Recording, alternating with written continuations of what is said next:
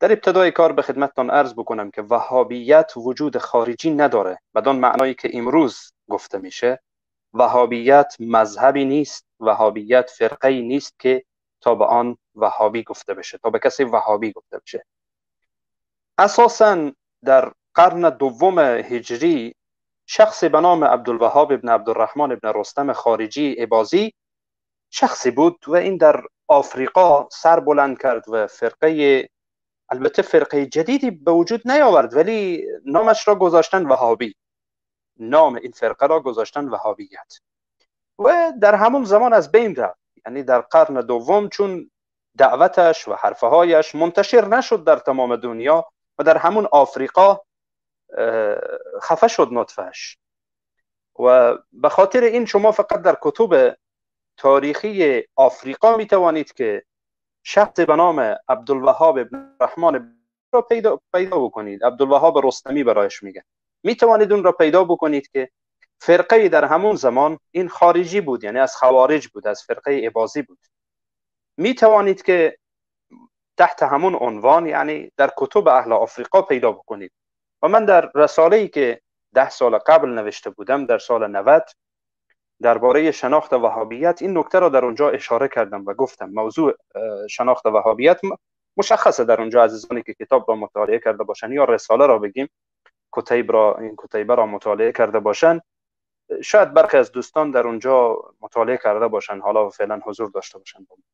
و این موضوع در اونجا نمایان هست و من کتب اهل مغرب و کتب اهل آفریقا را در اونجا یادآوری کردم که در فلان کتاب و در فلان کتاب در فلان کتاب اینها موجوده.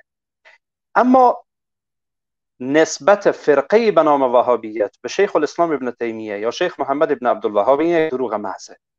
و این افترا هست و تزویر و در واقع کوبیدن اهل سنت و جماعت و کوبیدن پیروان سلف صالح این امت می باشه. متاسفانه این بعد از اینکه شیخ محمد ابن عبدالوهاب دعوت, دعوت زیبا و دعوت توحیدیش را در شب جزیره عرب شروع کرد و خاصتا در سرزمین نجد یعنی در ریاض و قسیم و بخشه های یعنی قسیم هم تقریبا میشه گفت بخشی از نجد هست.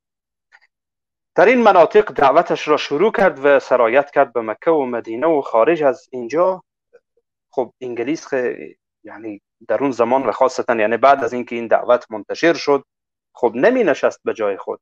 دروغ های ساخت و خاصتا بعد از اینکه انگلیس وارد سرزمین شب قاره هند شد. بعد از اینکه وارد شب قاره هند شد و استعمار کرد حتی از دیوبندی ها از علمای دیوبند وقتی بر علیه این استعمار استادگی کردن چون در اون زمان واقعا دیوبند یعنی مدرسه دیوبند و دیوبندی ها واقعا وظیفهشان را در برابر انگلیس انجام دادن. و الله متعال سبحانه و تعالی رحمت بکنه اونهایی که در برابر انگلیس استاد شدن با عقیده پاک و با عقیده صاف. خب انگلیس آمد یک نام بالا اینها گذاشت تا اینها را مردم را از اینها متنفر بسازه. خب طبیعتا در, در, در کنار آن گروه های مبتدع و گروه های گمراه هم وجود داشتند. آمد نامی گذاشت به نام انگلیس به نام وهابی. وهابی وهابی. و تا جایی که حتی اون خاطرات مستر همفر اگر من اشتباه نگم اسمش را.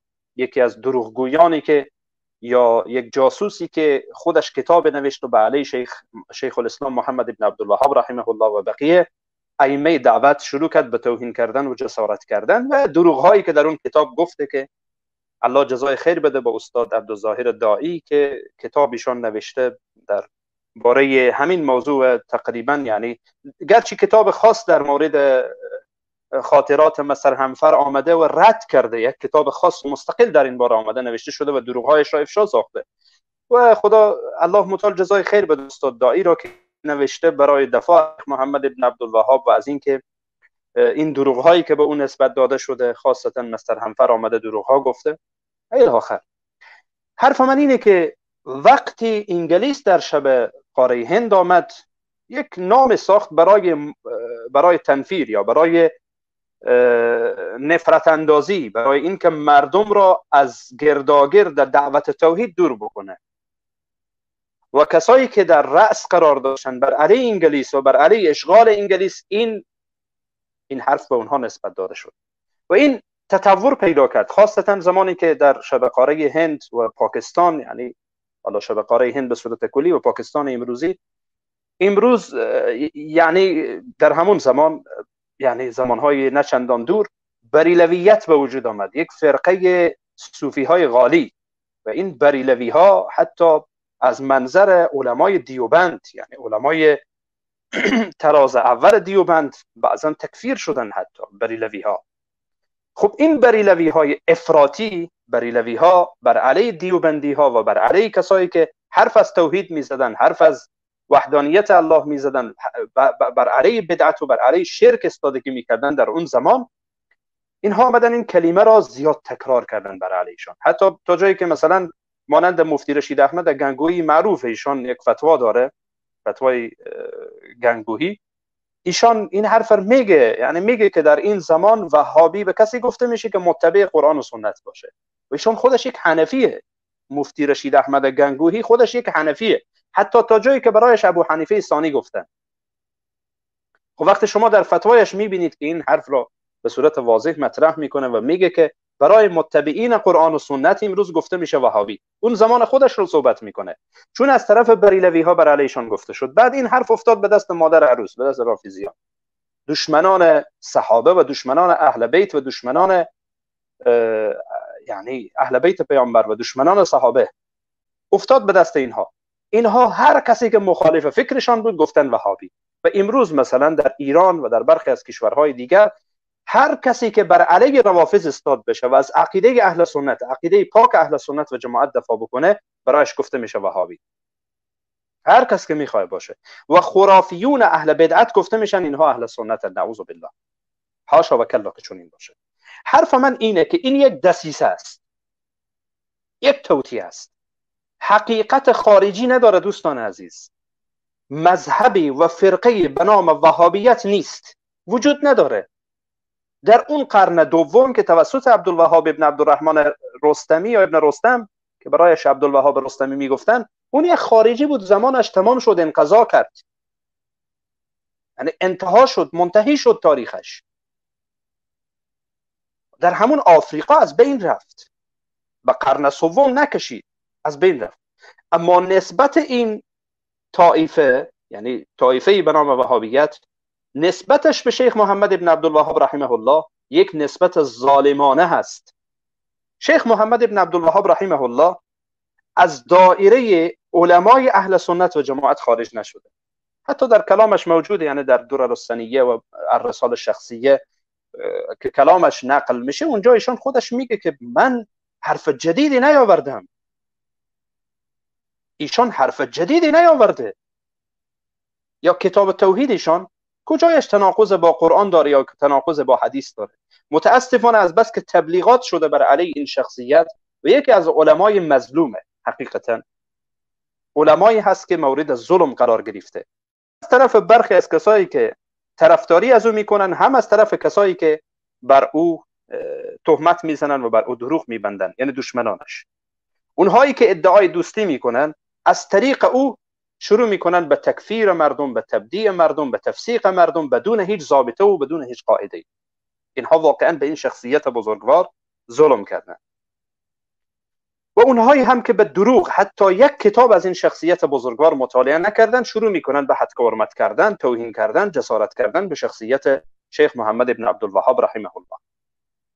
به هر حال دوستان عزیز و گرانقدر خلاصه کلام وهابیت به این عنوان که نسبت داده بشه به شیخ محمد ابن عبدالوهاب رحمه الله این نسبت نسبت ظالمانه و دروغ و تزویره و هیچ حقیقت نداره. به این عنوان. به این عنوان وهابی وجود وجود خارجی نداره. بلکه یک توطئه و دسیسه هست که بر علیه اهل اسلام اطلاق میشه. حتی جالب من کتابی از غربی ها و خاصتا از مستشرقین را مطالعه می کردم جالب بود که وقتی شب, شب, شب جزیره عرب و بقیه مسلمان ها را مورد بررسی قرار می‌داد می‌گفت وهابی ها میگن که موسیقی حرامه. برای من خیلی جالب بود. یعنی هر کس مخالفش را یک نام ساختن یک متر ساختن به نام وهابیت. بعد هر کس مخالفش را با این طریق ضرب فنی می‌کنه. با این طریق او را نامبد می‌سازه و مردم را از او متنفر می‌سازه. متوجه هستی؟ یک بهانه یک بهانه هست یک حربه هست بر علیه اهل حق. خودشان ساختن به نام وهابیت. و اگر نه کسی بیای برای من نشان بده که کدام عالم در طول تاریخ گفته من وهابی هستم یا کسی دلیل بیاره که گفته باشه شیخ محمد ابن عبدالوهاب رحمه الله گفته باشه که من فرقه ساختم به نام وهابیت یا بلکه من برعکس میارم که شیخ محمد ابن عبدالوهاب رحمه الله خودش اعتراف می‌کنه و میگه که من بر منهج سلف صالح هستم و در فقه در فقه در مذهب حنبلی می باشه متوجه هستید کسی بیاره بسم الله این که حرف یعنی عادی هست. کسی که ادعا داره و مدعی هست از یک عالمی در طول تاریخ بیاره که گفته باشه من وهابی هستم. یا یا بیاره دلیلی که شیخ محمد ابن عبدالوهاب رحمه الله گفته باشه که من فرقه ساختم به نام وهابیت. در غیر آن روافض قبحهم الله دشمنان صحابه دشمنان اهل بیت پیامبر اینها به دروغ ساختن و اهل بدعت دروغ ساختن و هر کس که متبع قرآن و سنت باشه و به سوی توحید دعوت بکنه برایش چی میگن؟ میگن وهابی.